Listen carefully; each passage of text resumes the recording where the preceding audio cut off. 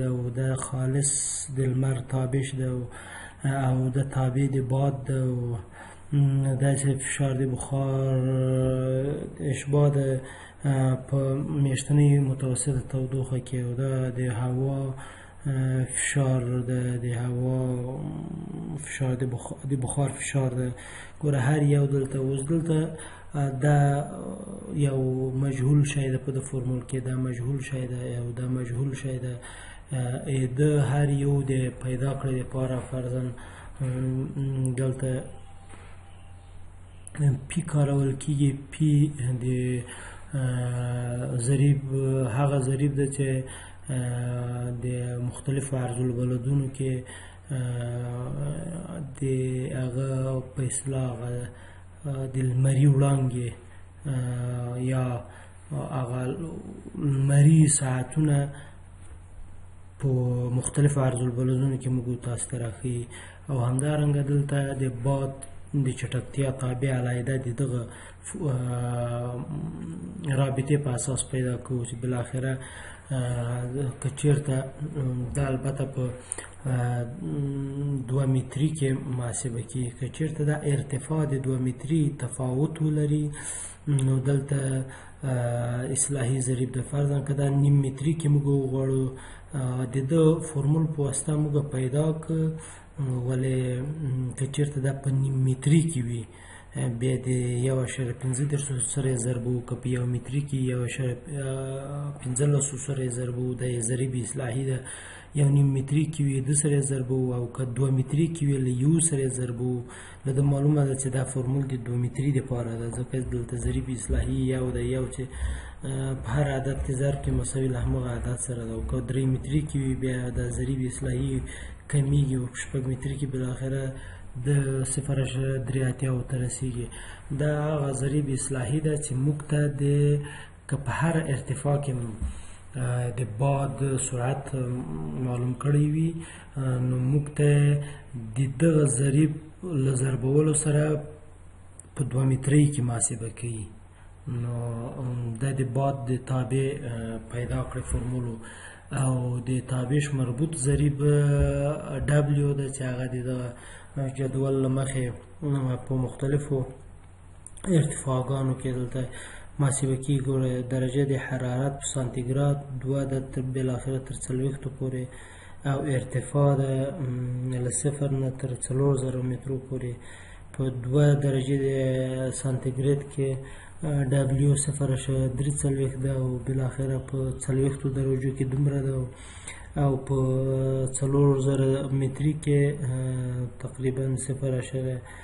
نوي په څلوېښت درجې د سانتیګریډ کې ده او صفر اعشاریه پنځه پنځوس په دوه درجې د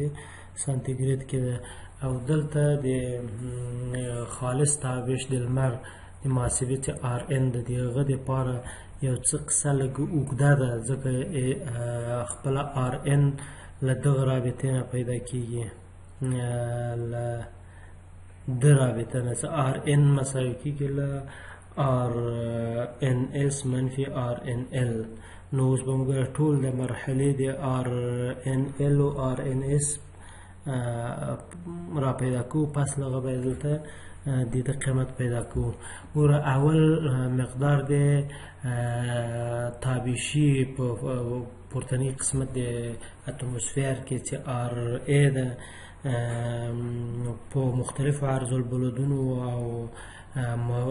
هغه د پام وړ میاشتې کې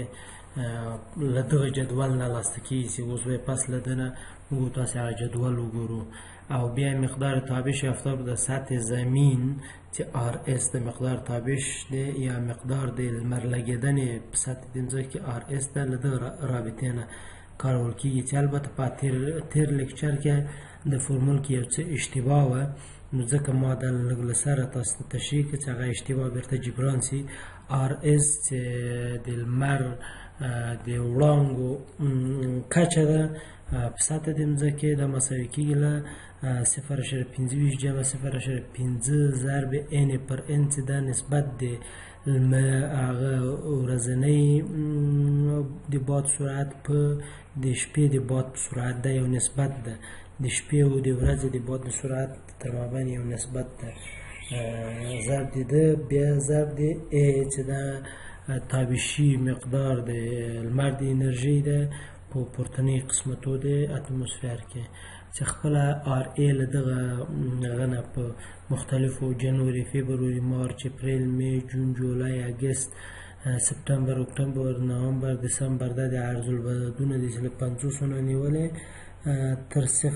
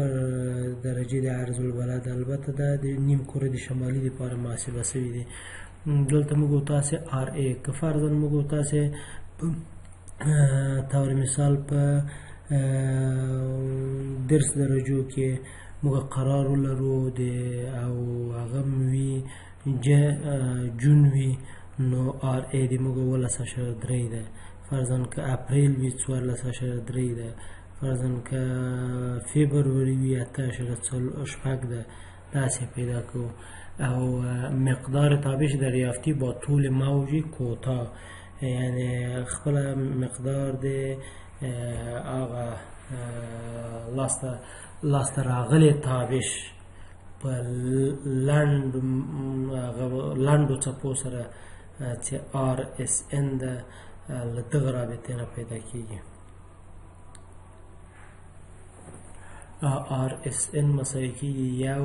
منفي الفا ضرب اس ان چې تابع شفتابي ده د آر اس تابع شفتابي ده چې الفا ضریب د انعکاس ده چې په متوسط ډول صفر شوه پنځه ویشت په نظر کې نیول کېږي او د مقدار تابع خالص منعکسه با طول موج دراز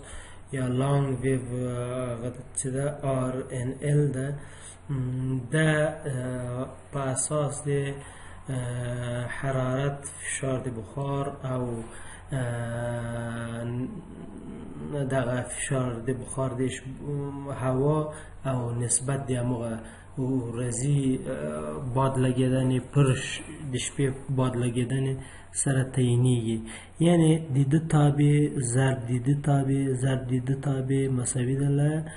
آر ان ال سره یا مقدار تابش خالص منعکسه با طول موج دراز چې هر یو د د د محاسبه سوي او په دغه جدولو کې ګوره دا د تودوخې دی تابع محاسبه په دې کې سوې ګوره درجه د سانتیګراد ده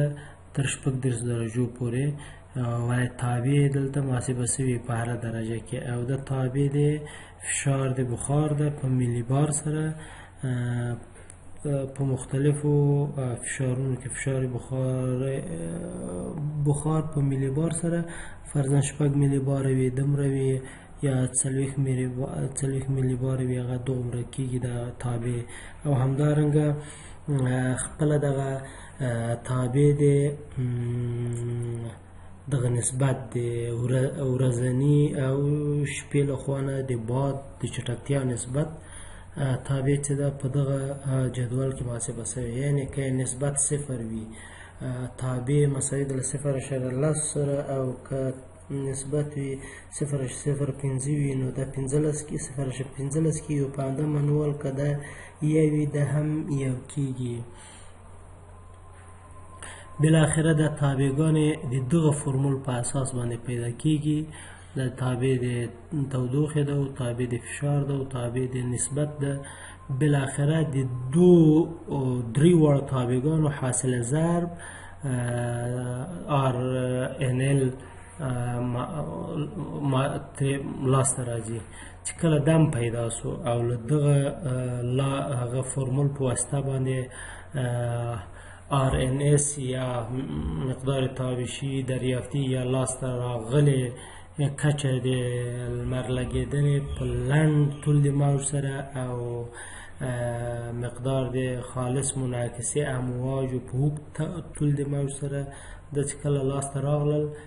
د د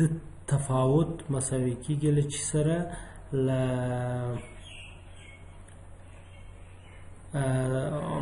تابش تابش خالص یعنی دلته موږ تاسو هغه تابش چې په وګ تل د په لاند تل د موج ځکه تر راځي هغه تابش چې بیرته په وګ تل د موج منعکس کیږي د دوه تر مابین د تفاوت په نتیجه کې خالص تابش موږ تاسو ته پلاس راځي چې دا البته ضریب اصلاحي په دغه جدول کې د سی په لاندې جدول کې محاسبه کیږي چې البته دا ټول دا ده ضریب اصلاحي د سی په پنمن په رابطه کې چې په مختلفو مقدار د رطوبتو کې په او که چېرته باد څلور د شپې له خوا له څلورو سره مساوي وي د په دغه حساب باندې پیدا کیږي که چېرته متوسط رطوبت نسبتي حد اکثر نوي فیصد وي او که چېرته شپېته فیصد وي او که چېرته درس فیصد وي په هر هر فیصدۍ کې څلور متری او درې متری او دوه متری او یو متری کې هغه د باد واحد څه ده که یو متر په سکند او دوه متر په سکند درې متر په سکند او څلور متر په سکند کې که چېرته باد وي د مختلفو هغه کې حالاتو کې دلته محاسبه سوی ضریب د اصلاحي چې هغه په ابتدایي فورمول کې دلته دغه ټول یو مثال تاسو ته راوړی مقدار تبخیر و تحرک ماهانه در یک استیشن به نام در یک حوزه به نام کارونی محاسبه شده و به اساس روش پنمن که ایجا ما و شما هم به خاطر محاسبه باید اینی تو یک جدول خصوصا در اکسل جور کنیم و از او طریق باز خوب به آسانی ما شما میتانیم که ای را محاسبه بکنیم څلورم را تجربوي فرمول د تبخیر او تعرق د محاسبې لپاره د ترک کړنلاره ده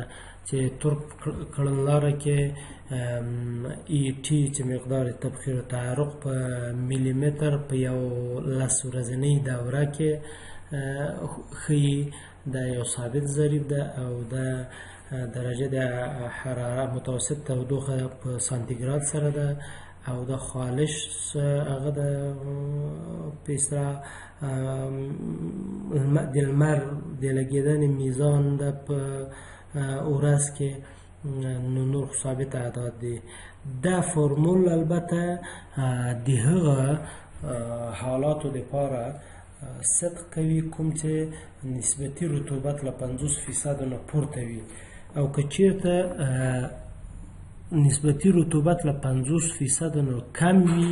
نو په صورت کې د ترک کړنلاره بیا داسې د محاسبه داسې ده دلته له د سره ضربې ده اوس یو حد بل مو سره اضافه سو چې دلته ار اچ نسبتي رطوبت ده نو نور ټول ما فرمول ده یو دغه قوس سره اضافه شوی چې دم ثابت عدد ده دم ثابت عدد ده دم ثابت عدد ده دا مجهول ده چې ده نسبت رطوبت رطوبت نسبتي ده یا نسبتي رطوبت ده د په دو حالاتو کې د د ترک فرمول کار کوي که چیرته نسبتي لندبل له 50 فیصد نه پورته له د فرمول نه استفاده کوو او که چیرته له 50 فیصد نه کم له د فرمول نه استفاده کوو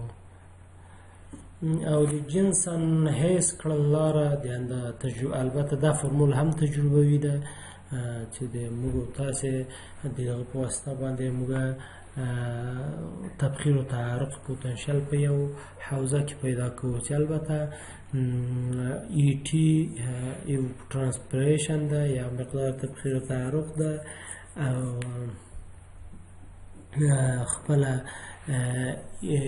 سی ټی ضرب ټی منفی ټی ایکس ضرب آر اس دلته آر اس د لمر لګېدنې کچه ده او ټي منځنۍ تودوخه ده او سی ټي او ټي ایکس د دواړه د معادلې ثابت ضرایب دي چې په ترتیب سره سی ټي پنځه او ټي ایکس له منفي درې سره مساوي ده چې البته دا د د خپله د جنسن سی ټي د محاسبې له رویه هم په لاس راوړی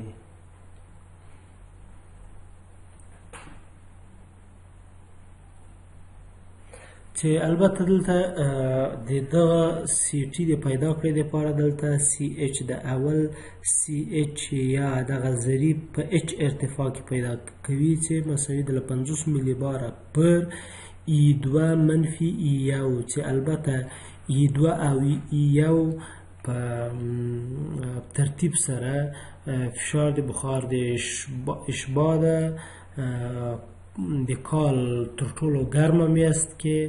په متوسطه اعظمي تودوخه کې او په متوسطه اصغري تودوخه کې یعنی د کال ګرمه میاشت تور مثال موږ تاسو سرطان وي د سرطان په اعظمي متوسطه تودوخه کې فشار د بخارش با منفي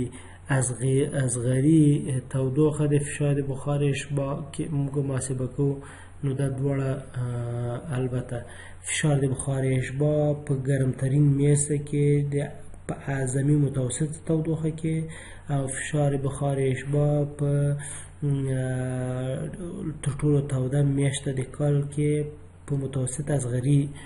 تودوخه کې دا چې دلته پیدا شو بیا نو سی ټي موږ پیدا کوو چې سی ټي مساوي کېږي له یوې پر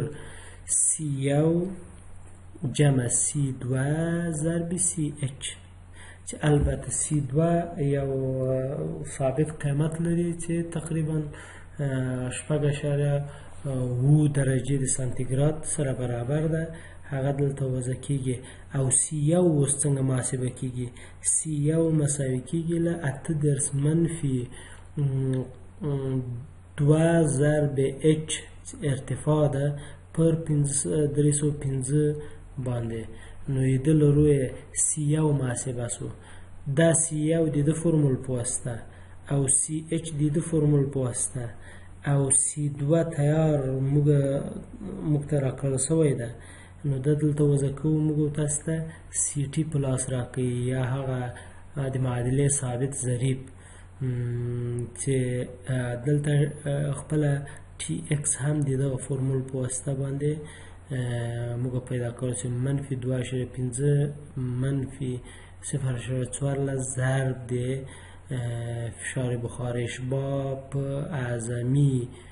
متوسطه تودوخه د ګرمې میاشت کې او فشار د بخار اشباع په اصغري متوسطه تودوخه د ګرمې میاشت کې منفي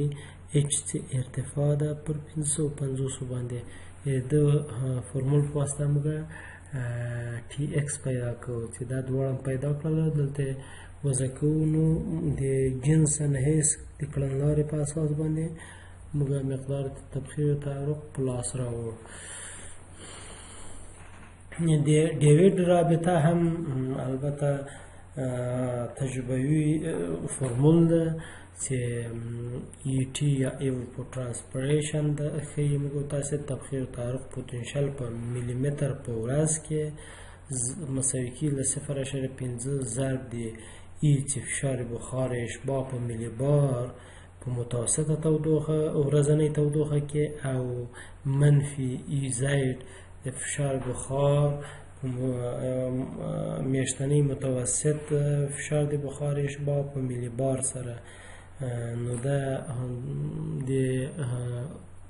ډیویډ رابطه ده او وم فرمول یا رابطه ده پاپا دا کیس ده چې دا هم تجربه فرمول ده په دې کې هم چې ایټي یا پوتنشل تبخیر و تعرق په سانتی متر په میاست کې مساوي کېږي له صفر اشاره شپږ پنځوس پنځه ویشت ضرب د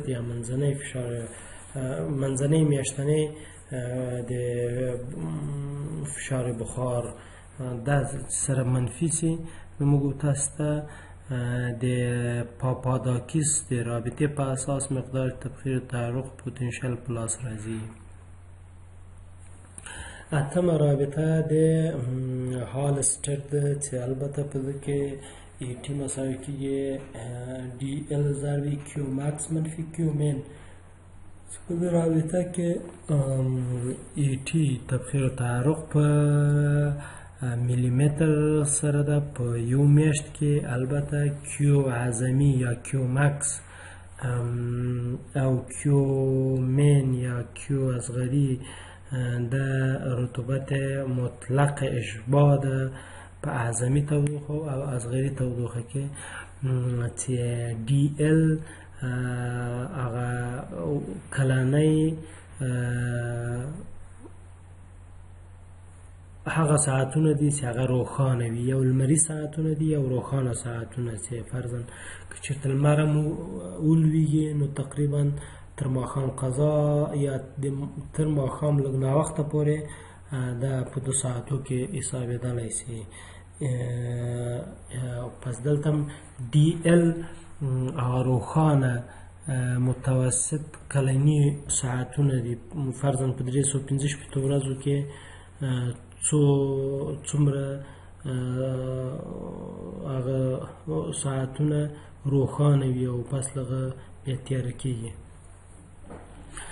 نو را نهم رابطه د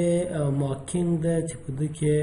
ایټي مساوي کې صفر اشاره یو شپېته ضرب دلتا پر دلتا جمع الفا ضرب آر اس پر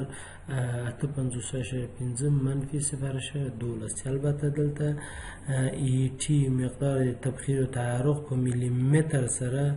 په یو لس ورځنۍ دوره کې ښیي او دلتا چې ده شیب د منحنی دی بخاری اشباه ده او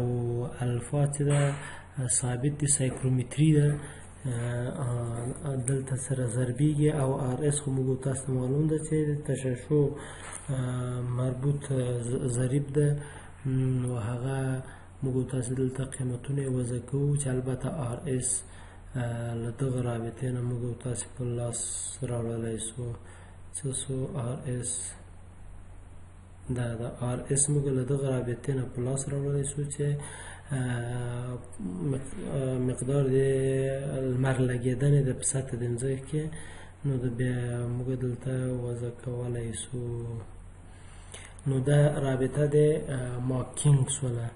اوس بر راسو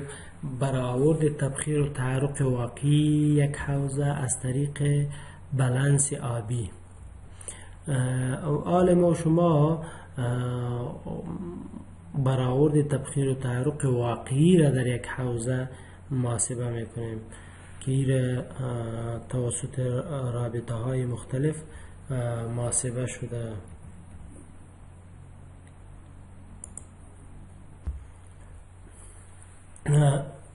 برای برآورد تبخیر و تحرک واقعی یک حوزه از طریقه های مختلف ما استفاده میکنیم که یک طریقه خیلی معمول بلنس آبی است تبخیر و تحرق واقعی میتواند از وسایل و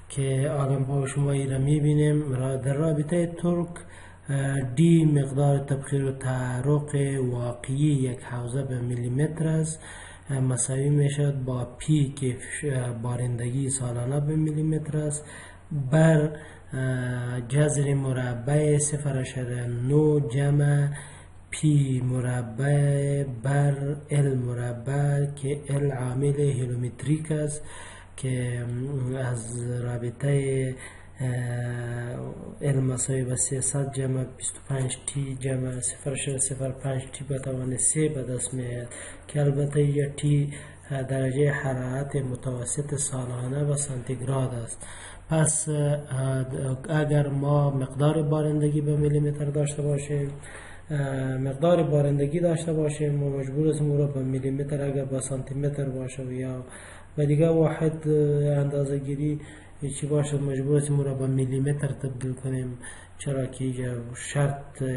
ای است که ما تبخیر و تحرک واقعی یک حوزه به میلی متر دریافت میکنیم و خود عامل کیلومتریک است که از رابطه او باید ما درجه حرارت متوسط سالانه به سانتیگراد داشته باشیم از روی از او هم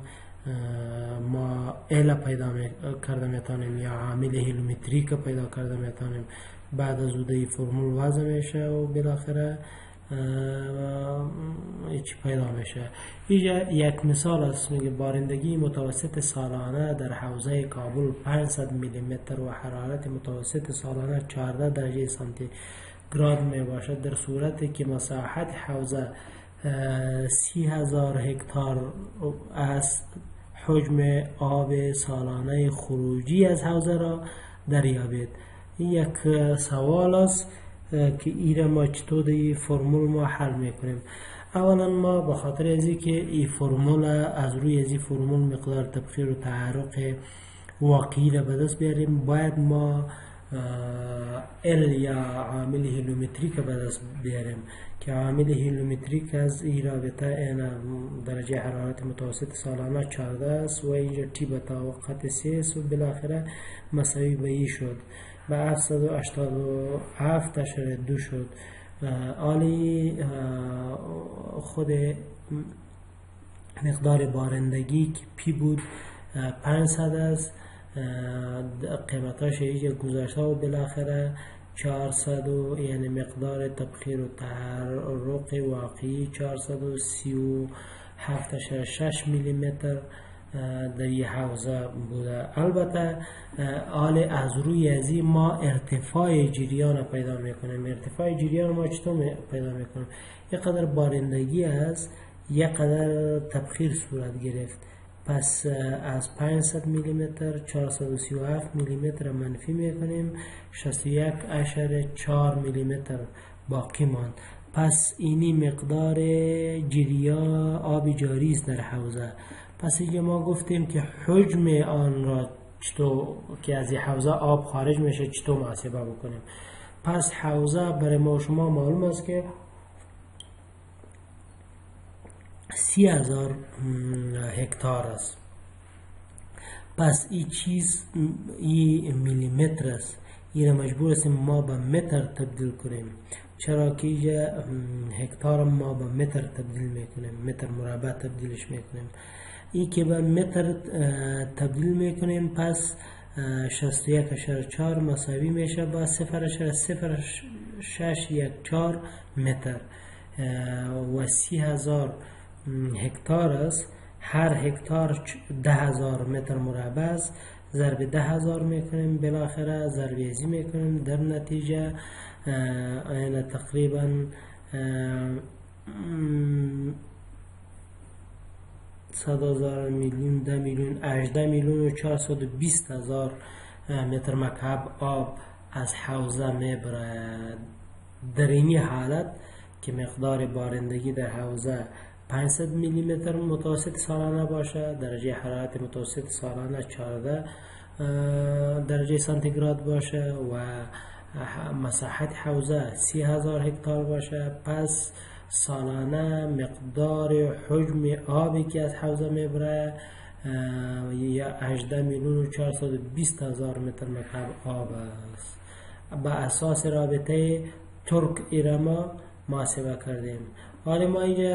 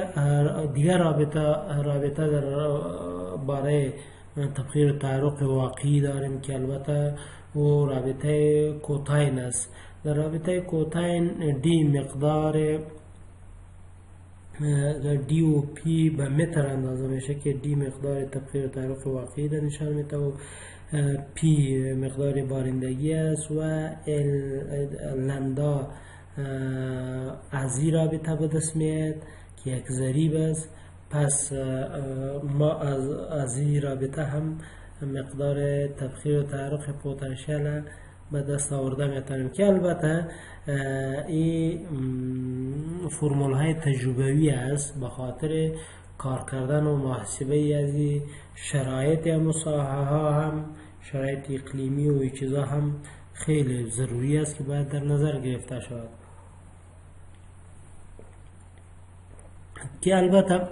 عین مثال که پیش اینی مثال بود توسط رابطه کوتاین ما محاسبه کردیم که تو باش چی تفاوت های وجود داره ببینین که بالاخره در نهایت حجم آب جاری سالانه یکن دهن صدن هزارن ده هزار میلیون دو میلون و هفت لک یا دو اشاره هفت میلون متر مکعب است در صورت که اونجا 18 میلون بود این تفاوت معظمی را ببینید پس اینجا این به خاطر ازی برتان این تفاوت عین مثال در دو فرمول چی کردیم که فرمول های تجربوی است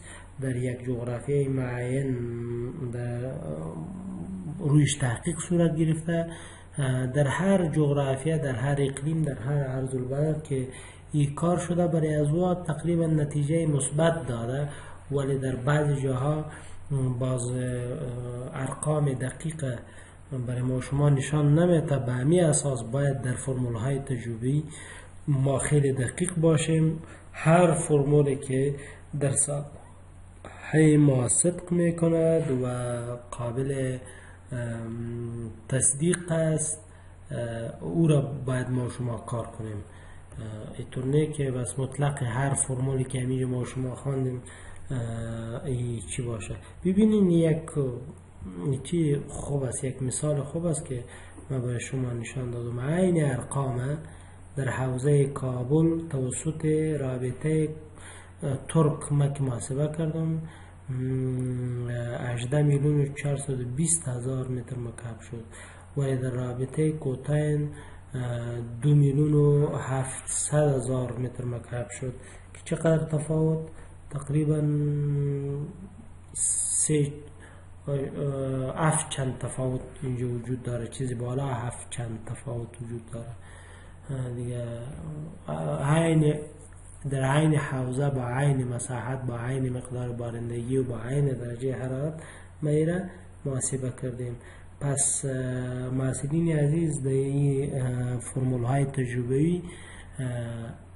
از امو فرمول باید ما شما استفاده بکنیم که در شرایط اقلیمی ما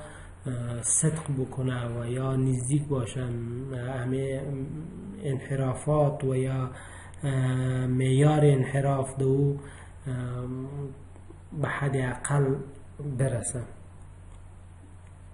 ایجا یک سوال کردیم د کابل ستیشن په څلور دېرش درجه د عرض البلد کې واقع ده پوتنشل تبخیر او تعرق د تورن تورنوای په کړنلاره د اپریل او اکتوبر میاشتو لپاره پلاس راوړي بخا د دې لپاره چې موږ محاسبه اسانه کړې وي ما یو موډل تاسو ته راوړی دی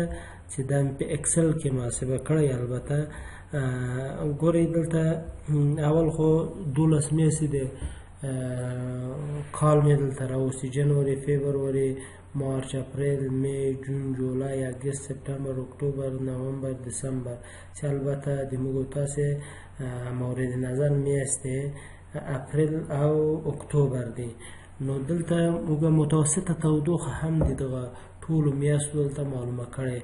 او بیا دلته د هرې میاشتې دپاره میاشتنی شاخص هم موږ پیدا کړی چې دغه دپاره فرمول موږ تاسو لرو چې بیا دغه مجموعي د دغه دولس میاشتو شاخص چې سره جمع کې کلنی شاخص پلاس راکوي چې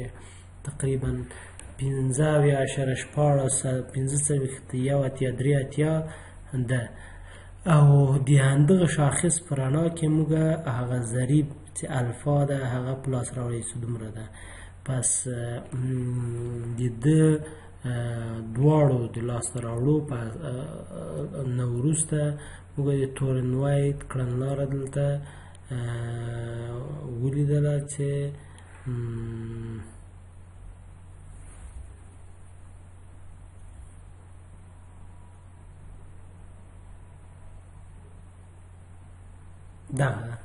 دا د تورنوای کړنداره ده چې موږ له ده رابطې نه ګوره شاخص حرارتي سالانه مو پیدا کړل دا متوسط تودوخه په همغه میاشت کې د دغه لارې نه ده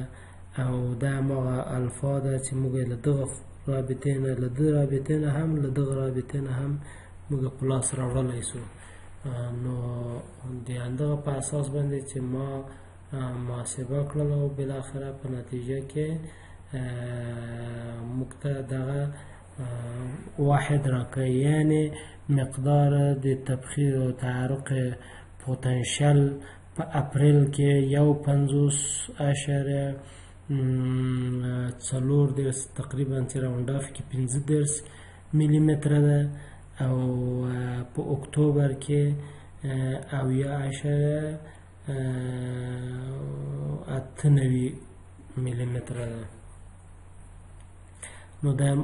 دغه سه که تاسو غواړئ چې دا محاسبه کوي خود محاسبه کوي نو بهترین اسانه لاره دی اکسل سیستم هغه ده اکسل ده چې هلته د محاسبات پکې په ډېر دقیق ډول سره چې تاسو دقیق فرمولونه پکې وضع کوي فنکشنونه نو تاسو پلاس راوړلای شئ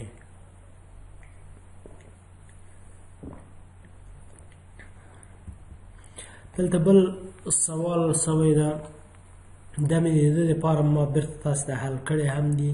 چې تاسو یو څه لاره پکې پیدا کړئ او پس له هغه به بیا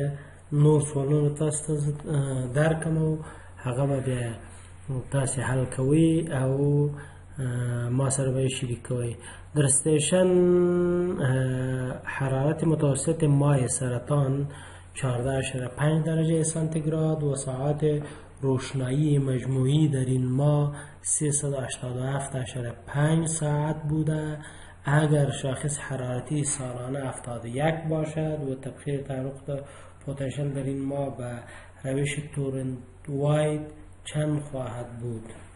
گوره موږ مخکې ما د تورنوایت چې اکړنلاره ما تاسو ته تشریح کوله ما داسې تاسو ته درته ویلې چې دا د دغه فورمول د درس ورځو د چې میاشتې درس درس ورځې وي او دغه روح روح د په اصلاح هغه لمري ساعتونه دوله ساعت وي د دې لپاره موږ له د فورمول نه استفاده کولای شو که چیرته د ورځو کې د میاشتې په مجموعي ورځو کې یا یو درس ورځې وي یو میاشت یا نهه ویس ورځې وي یو میاشت یا دغه لمري ساعتونه پکې له دولسو نه زیات وي یا کم وي د هغه دپاره موږ د اصلاحي فرمول هم لرو چې هغه دا فرمول ده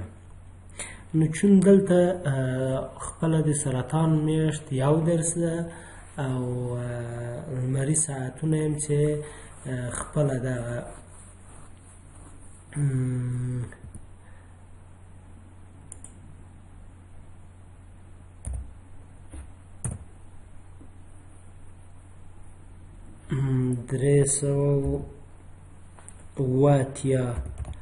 نیم تقسیم دی یو درس وکړو نو دولس نیم ساعته لمری ساعتونه کیږي دولس نیم ساعته کیږي یعنی له دولسو نه زیات شو نو په دو صورت کې موږ اصلاحي ضریب ته ضرورت لرو چې هلته له ده فورمول نه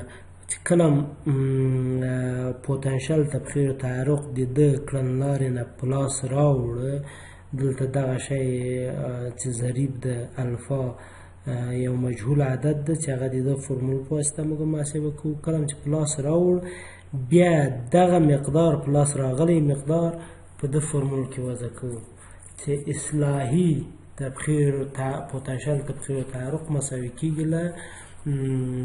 همدغه غیر اصلاحي ضرب دی ډي ان پر درې سوه شپېته چې ډي یې لمري ساعتونه دي متوسط لمري ساعتونه دي په دې میاشت کې او ان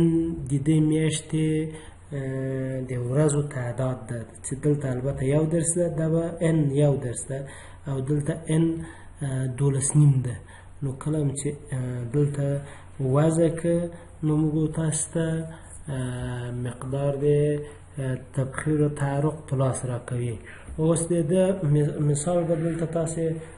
ورته ګوري او موږ تاسو به حل کو اگر چې د په غیاب کې ده خو خیر دلته تاسو یو څه کالکولیټر ته هم متوجه شئ او زه به دلته تاسو ته کار وکړم ګورئ دلته موږ تاسو ته ټي آی معلوم ده چې څوارلس نیم درجې د سانتیګریډ ده او آی هم موږ ته معلوم ده چې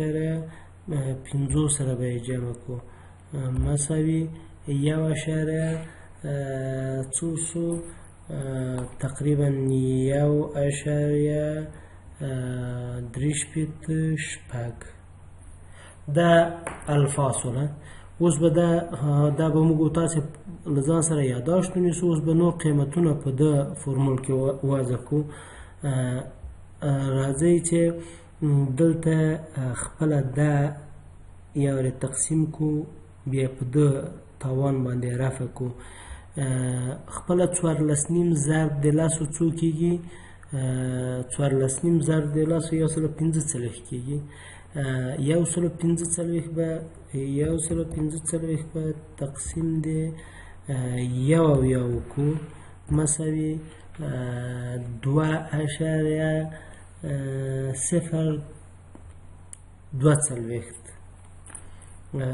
دوه اشاریه صفر دوه څلوېښت باندې دغه ونیسو نور ډېر متوالي ده نو دا به اوس موږ او تاسې په د الفا په قیمت چې دلته موږ او تاسو ته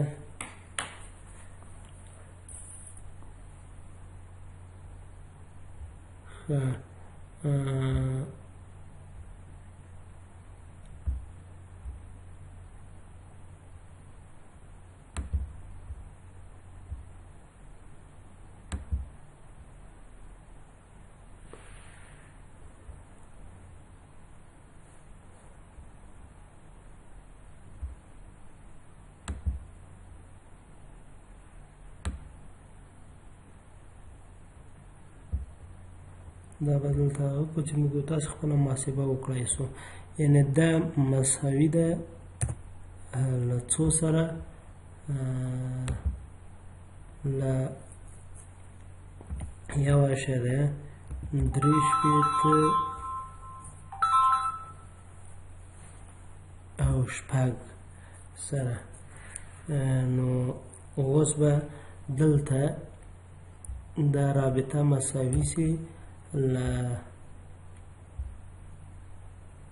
څو سره دلته وګورئ تاسو لرو خپل اړش پاړس اشاره دوه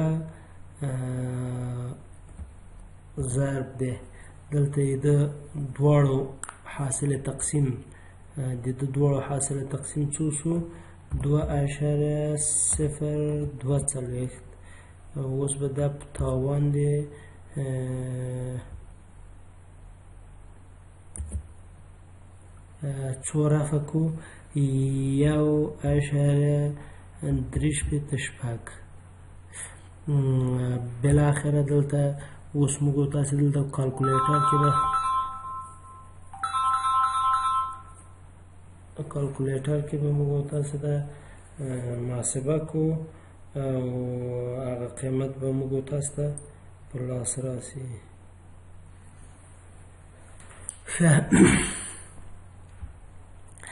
دلته اوس دوه دوه اشاریه څو څو صفر دوه څلوېښت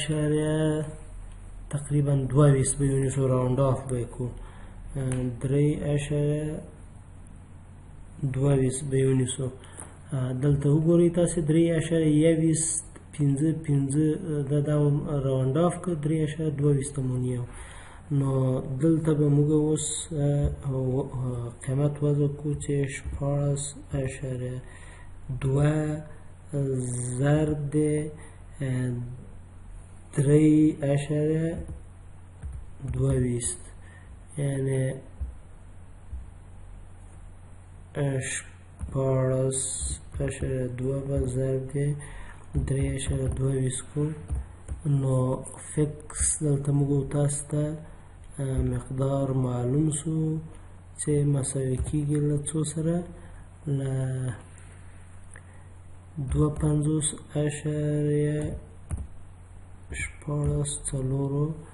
سره دا مقدار دی تبخیر و تعرق غیر اصلاصوی مقدار تبخیر و تعرق ده په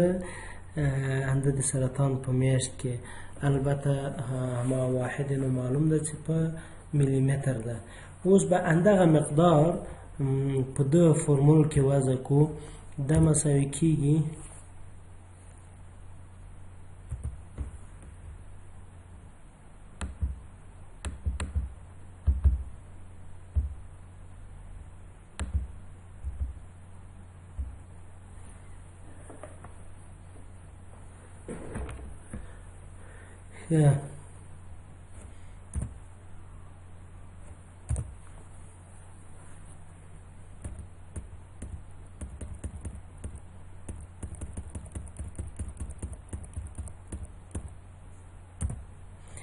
دا مساوي کېږي له څو سره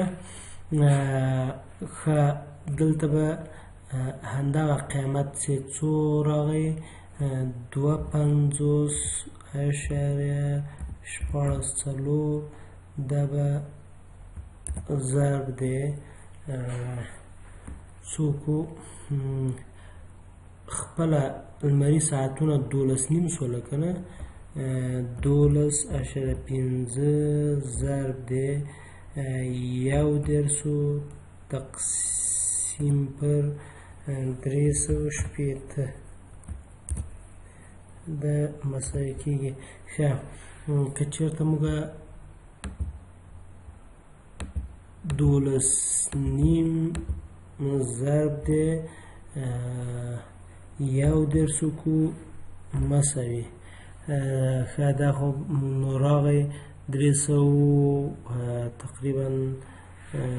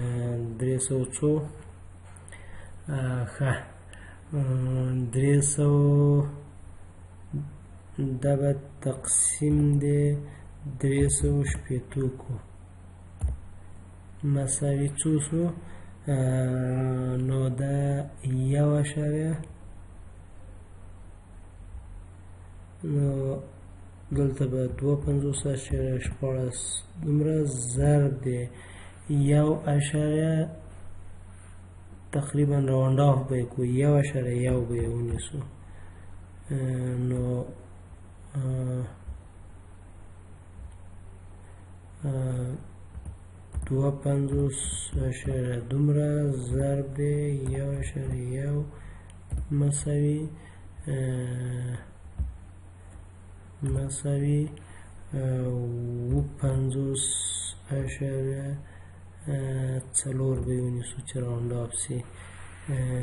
البته ملي متر دا د د فرمول په واسطه باندې موږ اصلاحي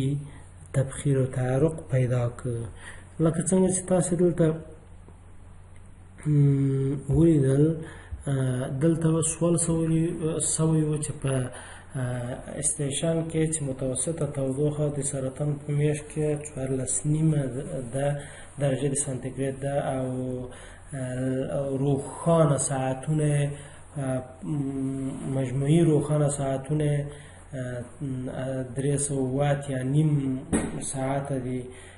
که چیرته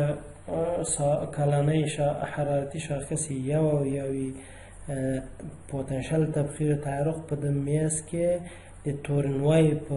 کړنلاره لاس راوړي نو موږ او تاسو مخکې ویلو چې تورنوای دغه فرمول چې ای ټي پی مساوي له 14 سره 2000 د 10 ټي آی پر آی په تاوان دی الفا د د هغو میاشتو لپاره چې د میاشتو د ورځو شمیر ډیر وي او د روخانه ساعتونه د ورځې روخانه ساعتونه دولس وي دلته ویني چې تجاوز یو که بیا د هغه د پاره چې کچیرته د ورځې د میاشتې یا درسونه زیات وي یا کم وي او د غلمري ساعتونه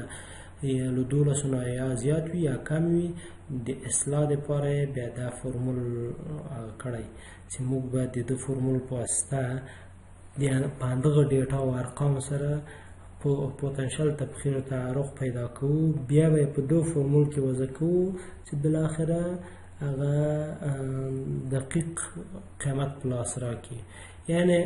دلته دا فورمول چې موږ قیمتونه پکې وضع کړل دا فقط موږ تاسو ته د درس ورځو مقدار تبخیر تعرق په دولس لمری ساعتو کې موږ ته پلاس راک ولی کلم چې په دو فورمول کې وضع که نو دی اتومات موږ تاسو ته ویني چې مقدار زیات شو دلته یو ورځ زیاته ده او نیم ساعت زیات ده نو دلته مقدار د تبخیر او تحرک موږ ته زیات وښوده نو الله دې وکړي ګرانو زده کوونکو چې په دو باندې مو سر خلاص سوی وي نو دا دې موږ تاسو نننی درس چې البته چې البته موږ تاسو دلته کار پیو که نو دلته په دا بل فرمول کې هم په دا بل مثال کې هم دلته چې ما کار کړی دم فقط له دا فرمول نه په استفاده له دا فرمول نه په استفاده دا مې په اکسل کې د فنکشن او له لارې نه وضع که او تاسو هم انداسې وکړئ نو الته اول میاشتنی شاخص د حرارتي مو پیدا ک بیا له مجموعې د غنم کلنی شاخ حرارتي شاخص پیدا ک او وروسته مو د فرمول په واسطه بل په اصطلاح کالم کې دا فرمول وضع کړي د فنکشن له لارې بس چې ډراګ کې او کته راولې د ټولو میاشتو لپاره محاسبه کوي لکه دا غوندې ګوره د موږ د پام وړ میاشتې دغه د په سوال کې له موږ نه د اپریل او د اکتوبر د میاشتې لپاره یې موږ نه غوښتی یو خو ما د دغه دولس او دولسو میاشتو لپاره د ټولو لپاره پیدا کړ هغه دا چې دلته ګوره حرارتي شاخص دلته موږ تاسې په فرمول کې څه رقم په لاس راوړل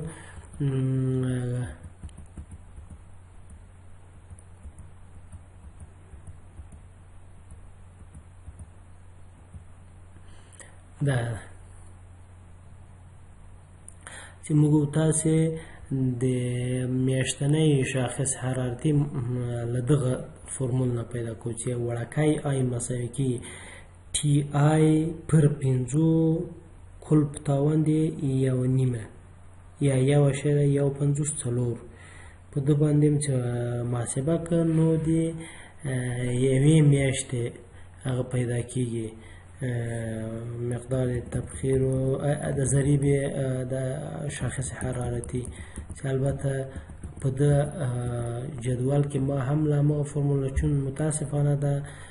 اکسل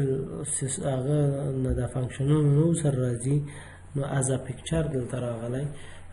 نو چې دا په اکسل کې هغه کې دلته چې کار کې په فارمولا بار کې اتومات د د شاخص میاشتنی حرارتي شاخص فرمول دلته چې ما فنکشن له لارې کار کړی تاسو دلته راځي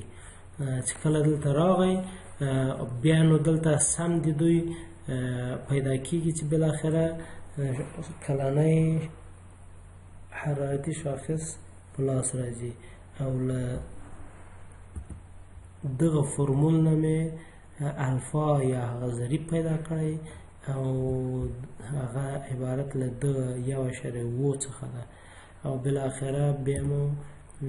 دغه فرمول هلته وضع کړی چې په نتیجه کې موږ تاسو ته د تورنوایت له هغه نه دا په لاس راغلی چون دلته لمري ساعتونه یې موږ ته نه دي راکړي نو له ده معلومه ده چې کېدای شي د اپریل او اکتوبر میاشتې درس درجه وي او دوله ساعته هدف له لمري ساعتو څخه وي ځکه که چېرته دوله ساعت لمري نه وای نو موږ ته به د میاشتې مجموعي لمري ساعتونه راکوله په همغه اساس به بیا موږ د محاسبه کوله ولې د نورو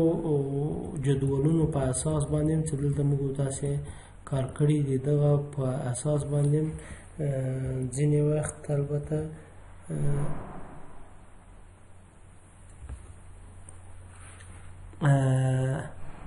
دا البته په فیصدۍ سره ښودل سوې ده متاسفانه ولې په ښه په دې کې خو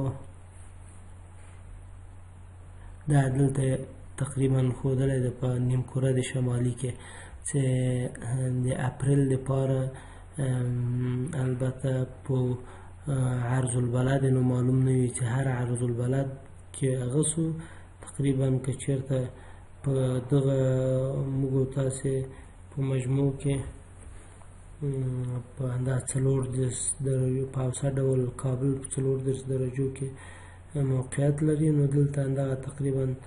دولس ساعته د اپریل سوله یا څه د پاسه دولس ساعته او د اکتوبر د پاره بیا له دولسو نه کم سو نو د هغه د پاره که چېرته موږ تاسو ته لمري ساعتونه راکړي وي د هغه له رویه موږ تاسو دا مقدار اصلاح کولی هم سو چې دا مثال ما تاسو ته حل کړ نو که چېرته لمري ساعتونه له دولسو نه تجاوز کړی وي او د میاشتې مجموعي ورځې له دېرشو نه تجاوز کړی وي یا کم وي یا زیات د دواړو حالاتو کې بیا له دغه فرمول نه موږ تاسو استفاده کوو یاري محاسبه کوو په دوه فرمول باندې بیا پس لغه همدغه مقدار په دوه فرمول کې وضع کوو او پایله به وګو تاسو ته اصلاحي مقدار د تبخیر او تعرق وي چې البته دا یو مثال ما تاسو ته کار کړ دلته ما غوښتل چې تاسو ته ډېر مثالونه درکړم خو متاسفانه الله پاک دیو کې چې فصل د اختر د موږ تاسو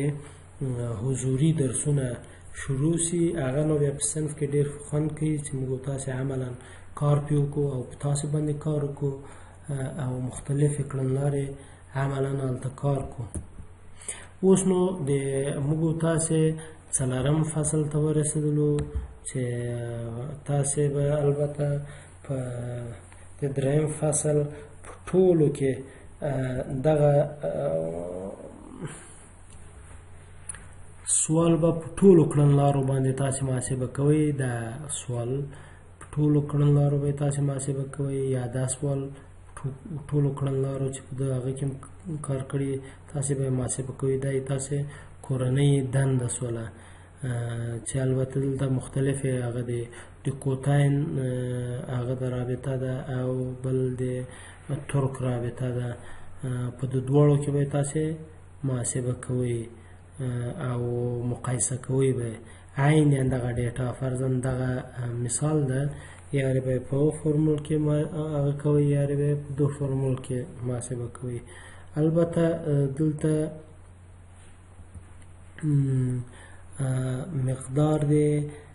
بارندګي موږ تاسو ته نه ده معلوم چې پی ده کنه پی مقدار د بارندګي ده که چیرته مقدار د بارندګي تاسو ته دلته هم مقدار د بارندګي نه سته صرف موږ تاسو ته درجه د عرض البلد را کړی دی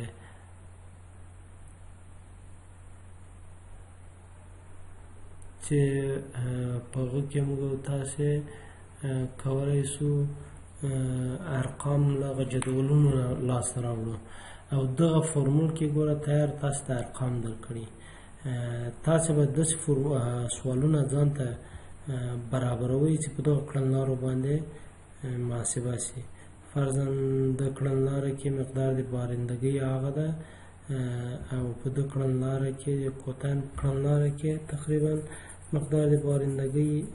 ته تغییر ورکړي او ویې ګورئ چې څنګه ده او هذا القیاس دغه رابطو کې به تاسې مقدار تفخیر و تعرق عین مثال به وي